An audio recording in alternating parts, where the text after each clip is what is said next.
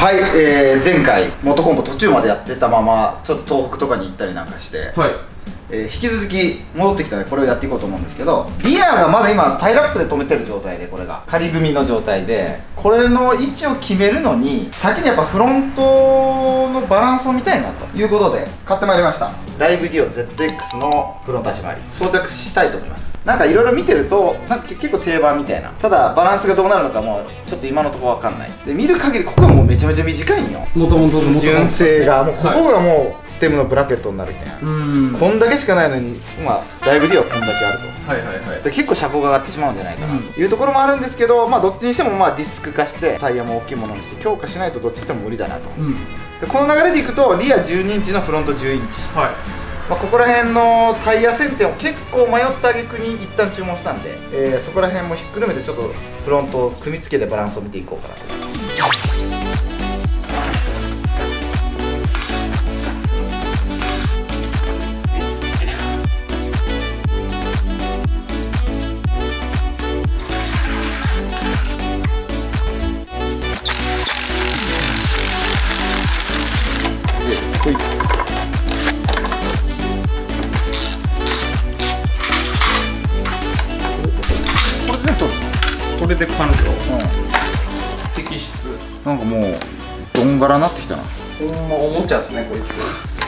れがい今テンションかかっとるってことか。そこの銀のとこ緩めたらそのまま取れるってことだよね。取れるですね。これが大体なくなるんですね。大体なくなるなもう全く別物ですね。ま多分想像つかんすよねみんな今。別物じゃね。じゃけんこれを多分ここの径が一緒っていうだけですよ。K が一緒じゃね。うんそうだね。でそここれは長すぎるんで。これは多分テーパーにはなってないけんこの辺でついではい切ってこの長さにする。うん。で芯がずれるけん、はい。中に旋盤でもうガチガチの入れて、はい。厚塗りしてで溶接。それは一番上のネジ山を使わんといけんけけですね。そうそうそうそうで一回ちょっとこれ当てがってみよう。よ入れてみます。はいはいはい。あここが結構すっきりくるわけよ。振り監督みたいなもんだけどなんか部員の練習をもうバレずに向こう側から見る監督みたいな腹めっちゃ出てるやん。言いにくいけどちょっと太った。えだってほらこれ1 0ンチとかじゃないよこれ。ああかなり違いますね。2 0ンチ近く違うんだね。あーでタイヤもでかくなってるけど車高めっちゃ上がってるってことですね。ちょっと恐ろしいねこれは。うん。つけてみますか？バランスが厳しいねこれ、うんまあなんとなくは分かっとったけど。想像以上に長いですね。これでよこういうことよな。あまあ言ってもあなんかそんようわからん。ね車高が。上がっとるのは間違いないですもんね。あだって元がこれなんだよな。うん。こんだけ上がっとるってことでしょ。ここぐらいまで来るとこんな感じ？どう考えてもフロント上がりになるよ。ねそう。真横から見たらありえんっすねめっちゃフロントが高いですイメージ的にはもうこれで合わそうともこんぐらいせんねんけどねえーいやもうちょい下でもいいですね。そんぐらいで多分平行ぐらいですねタイヤああそういうことね。めっちゃそこスカスカになるですね。なるね。ダメですねこれじゃようないね。そうなってきたらフロントもうちょい下げた方がいいってことねバランス。そうですね。そんなこともあろうかと。はい。ご用意しておりますはい。はい。えー、激安のショートフォーク。一説によるとはい。なんかリジットのリジットですみたいなこと書いてある。これこうね。めっちゃ短いあめちゃめちゃ短いですね。そう。何センチ？5センチダウン。ですね5センチ以上ダウンするね。ただはい。一応聞いとんよ。えらいやわそうですけど。やばいだけんなもんですか？なんかもしかしたら後でホークオイルとか入れ替えたりとかした方がいいかもしれない、ああ最終的に、うん、まあ一旦見るのには使えるんじゃない？はい。一旦これ組んでみます。これをちょっと組んでみようや。はい。はい。これがここにこうかはい、はい来た。大体この辺ですね。こんぐらいでもちょっと怪しいねけどまだまだフロント上がりっぽいけど。うんケツ下がりですね。タイヤ来て入れてみたいですね。そうだね。前後入れてはい。様子を見てみた方がいいと思う、まあもうフロントでは決定ですねこれは。これはでもこれ以上は低くできんし。そうですね。ちょっとテンション上がってきたよ俺。かっこいいですねこれ見ると、バランスうん、これじゃあ三つ股の加工していきます？そうじゃね。これどんな問題があるんでしたっけ？えっ、ー、とまあこれを縮めるのはまあ縮めりゃいいじゃん。はい。要はここの横幅がまず変わったってことですよね。るけん。ブリッジをつけるとね。これが元コンポのトップブリッジで。ここと向こうの横幅が変わっとるんで若干あんなんですよね。そうなんよ。数センチずるんですね。数センチずっとるね。明らかにオフセットするよねこことこがしてますね。ここの間を作って。そういうことだよね。作るかもう切るかですねこいつを。あこれ切った方が早いと思うまあこうねじ切らにゃいけんですもんね、だけど刺すバラさにゃいけん。これ右にしかバネ入ってないんで。え？ほんまに？嘘じゃん。これ多分右にしか入ってない。ほんまに？右っていうか片方にしかバネが入ってないっていう。ほんまに？僕まあバラしてないんでわからないですけど。そんな風に見えんすよね。いやそりゃないだろさすがに。ちょっとバラしてみましょモンだってモンキーと似とるじゃん。うまあそうですね。モンキーでも入っっとるけん。うん、まあ、噂ですからね。あだけどまあえっ、と一旦ここばらいてこれ抜いた方がいいんか。そうですね。じゃあちょっとこいつ一回バラしてみましょうか。そうだね。へえだけどこれも希少な部品だけどできる限り再利用したいね。でまあ中古で売れるんだったら売って、ん。誰か使ってほしいですね、まあそんな太よりやつがこんなことすんなって入りますけどね。コメントが。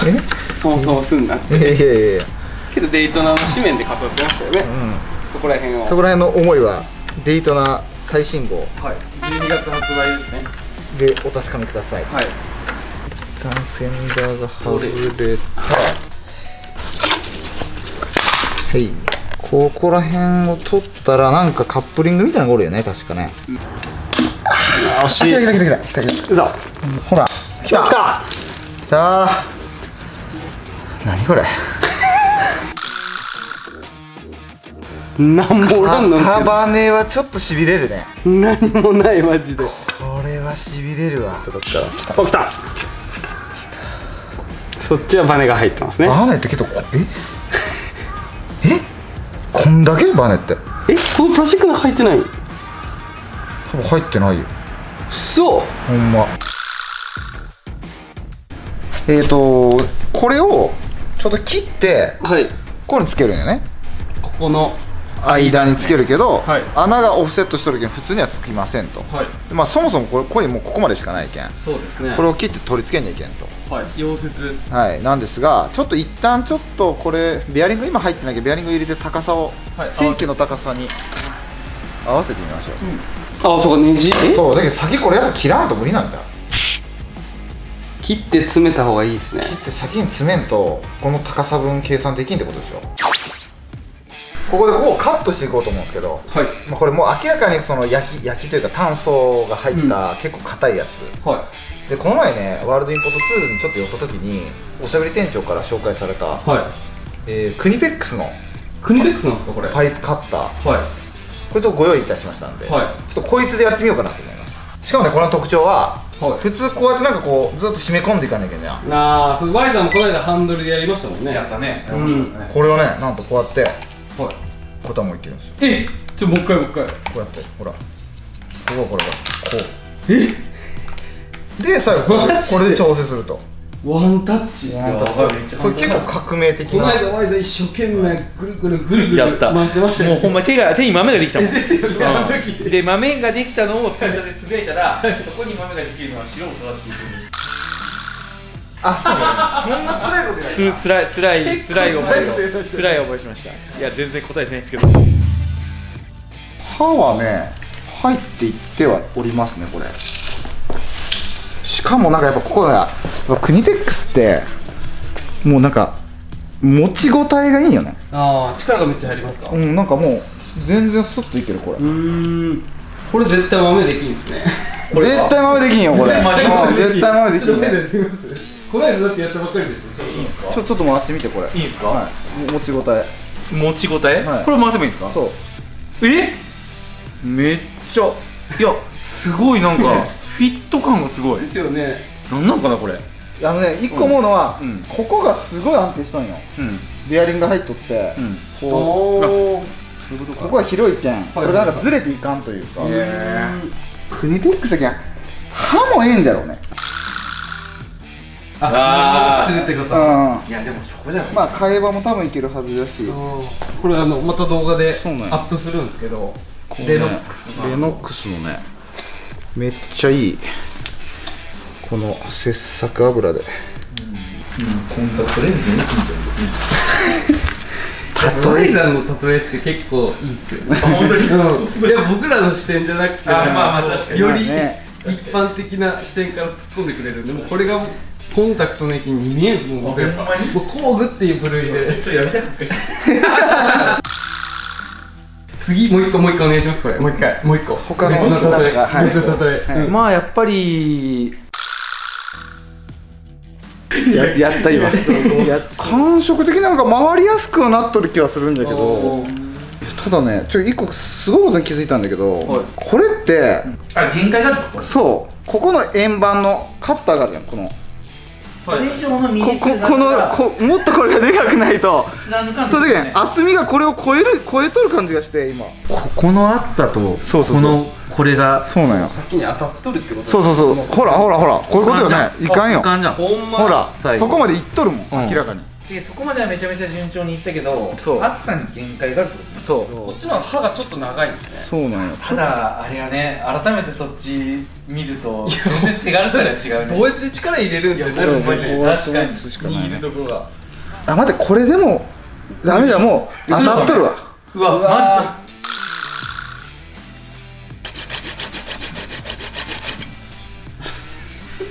硬いね来とるよねけど。来てますねあ置いた？来た。来ましたすごい。こんだけ分厚い。分厚いわこれすごいこれ。入り口面よりも全然違うね、うん。うん。バリ取りになってますね。多分バリ取りだと思うけどねこの形状は。なんか言ってましたよね。わあすごい。綺麗に取れますね確かに。OK これでここに芯を入れてはい。ガチガチに入れてやりゃええんか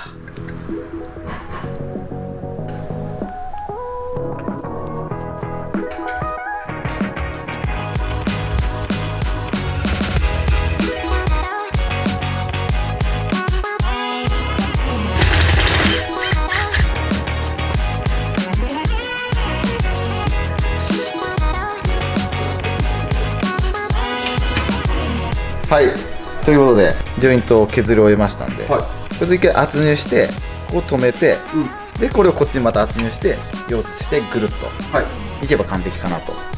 思いますので一旦これ圧入してみようと思います。はい。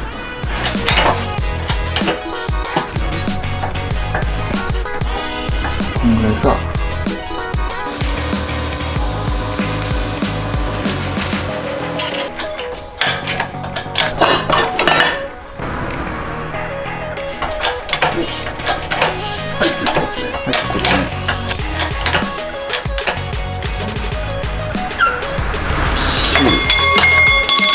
完璧じゃないですか。思った以上にうまくいったね。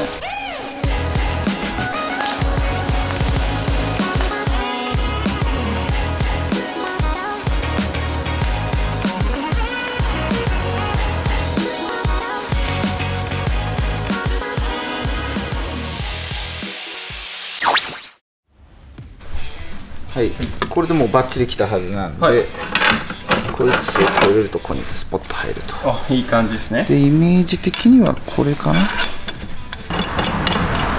一旦 OK ですねこれで。K でこいつをこうと。そうね。これを一回ここに切り込み入れて。事前に作っとったんですね。はい。ここはまあ切り込みが入っとるけん。はい。ここまで切り込み入れてはい。これをこうやってでこっからこれにオフセットさせた上でここにこう溶接すると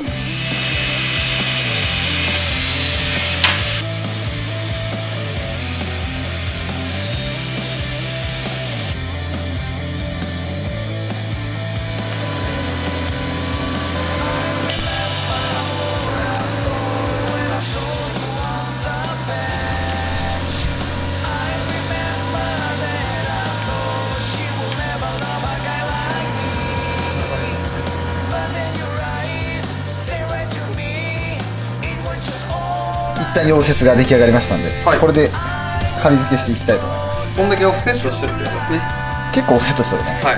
これでやっとみんな理解できたとこんな感じにしたかったとはいいうことですね、でこれをこうして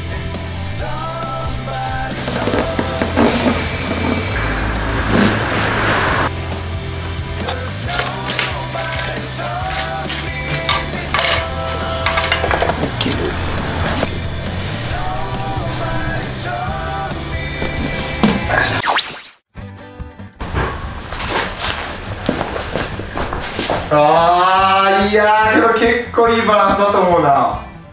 個人的にはこんぐらいなんかなと思うんあーまあねですけどね。完璧です。ちょっと低いですよね。ちょっとケツ下がりだね。まあけど結構好きなのは好きだけどまあ人が乗ること考えたらもうちょい上げた方がいいかもしれない。うわちょっとでも出すぎ。元コンポの定番で言えば出すぎなぐらいですね今。だけど個人的にはこんぐらいで取ってほしいですねバランああまあいやーちょっと出過ぎな気がするちょっとなんかカスタムスクーターみたいになってるですね今。意外にフロントのバランスが無事い。いですね。マジで。ちょっときついかなと思ったけど意外にフロントのバランス最高問題はリアリアはちょっとこれ出しすぎっすね。ちょっと出しすぎだろ。かっこいいけど出しすぎっすね。さっきの正規の位置が意外ともうちょっとだけ後ろに組めるのがどうなのかな。ここが今あのプラモデルで作ったパターンと一緒ですね。シャフトのセンターとテールのセンター合わせたらこんぐらい。です。ここっす。もうちょい短くしてもいい。かもああいやこんいやぐらい。ーいやいいんじゃない？ここっすね。んじゃない？意外にこのフロントとマッチしたと思う。いやマジで。バランスもインチも今色が違うけどちょっとあれですけど、まあね。悪くないですね。前後黒にして。うんいやいいと思うんですけどねめちゃめちゃ。折りたたみ機構を残したままこれをちょっと下げたらどうなんだねいやーそうっすね。あるよね。まあでも元コンポらしいっていう人もいるんですけどねまあね。この高さが。まあ一回これ次回は？次回はもうリアのやここをどうにか止めて。つやってもう配線組んでいってあとまあスペースを考えて補強と刺す。はい。サスの長さを決めなきゃいけないですね。そうだね。サスのマウントがここですよね。そこだけどこっからどっかに逆方向になるだろうこの位置だったら。あじゃあ上。真上か。かまあここら辺に組んでつけてもいいけどバッテリーのスペースの問題があるんですよね。まあそこら辺ちょっと考えながらそうだね。次回はいやっていきましょうか